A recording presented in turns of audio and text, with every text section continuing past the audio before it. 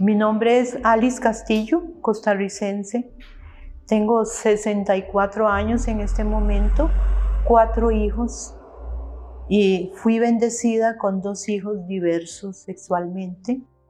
Em, los dos hijos menores, una lesbiana y un gay, que para mí han sido toda una bendición porque cambiaron mi vida por completo.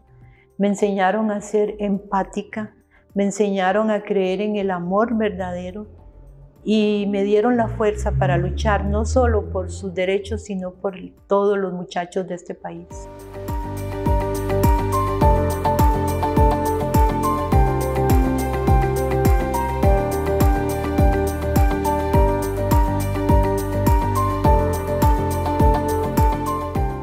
Que los amen y los respeten porque hay estudios que nos dicen que la falta de apoyo familiar puede llevar a las drogas, al suicidio y a relaciones que les pueden afectar muchísimo. Si un hijo es eh, sexualmente diverso, sigue siendo el mismo hijo de ayer. Si yo ayer lo amaba, ¿por qué voy a dejar de amarlo hoy? Entonces no lo dañen, no importa lo que estén sintiendo, no importa qué tan duro les esté dando. Dígale, lo amo mucho, no entiendo qué está pasando, deme tiempo para digerir esto, pero no los ofendan. Son sus hijos, necesitan su amor y nada más grande que el apoyo de una mamá y de un papá.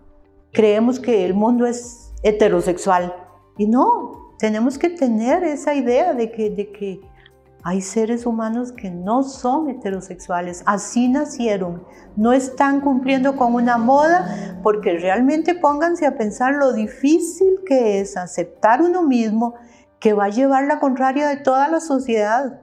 Es algo con lo que nacieron y con lo que van a seguir.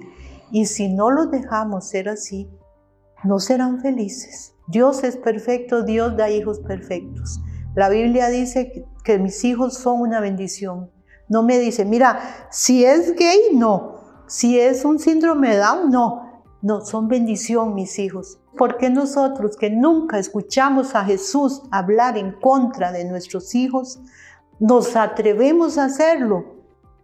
Dios, Dios es amor. Jesús dijo, amen a todos como yo los he amado, que soy capaz de dar la vida por ustedes. El amor. El amor es lo más importante. Por favor, ámense. Y si mis hijos no están teniendo los mismos derechos que el resto de la población de mi país, no puede ser posible. Yo tengo la dicha de tener una hija casada con la mujer que ama.